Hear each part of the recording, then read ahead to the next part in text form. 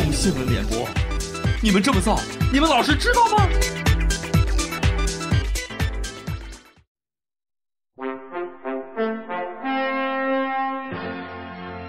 儿童新闻联播现在开始，我是小雅，我是小虎，我们继续去看看南方的暴雨新闻。昨天傍晚，武汉东湖落雁路一个水闸大闸蟹的闸正在排水，湖水都快淹到路上了，还没流完呢。是啊，有上百个人围在闸口，闸口捞鱼。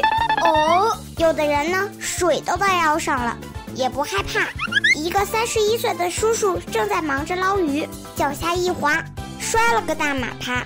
水流又太急，不到三分钟，那个叔叔就被淹看不见了。死了吗？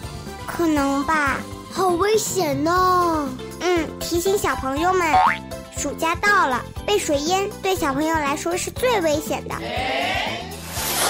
说到危险，最近吧，一个粗心的老爸逗孩子玩儿，一高兴把他五岁的女儿举高高。我也喜欢举高高，但是他忘记了头上有一个电风扇在转啊转。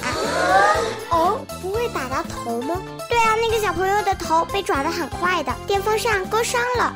哦，好吓人呢！所以啦，哪怕在家里也是有危险的，小心啊！儿童新闻播还在继续。今天我们说的新闻都是和小朋友的安全有关。下面这个新闻已经不是一次两次了，是总是会发生的。四川一个妈妈不知道怎么的，把三个月大的孩子反锁在车里，当时车外的温度有三十六度，车里呢？车里肯定超过四十度，孩子的脸都变红了，他妈妈急得大哭。好在有两个交警经过，马上把车窗打烂，救出孩子，吓死宝宝啦！所以啦，再次提醒小朋友，一定要注意安全。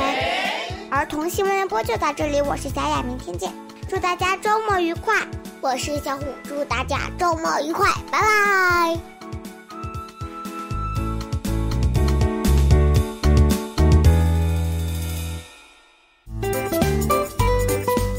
嗯，儿童新闻联播，由安藤！电台独家制作播出。哦，对了，他们通通装在钱包里。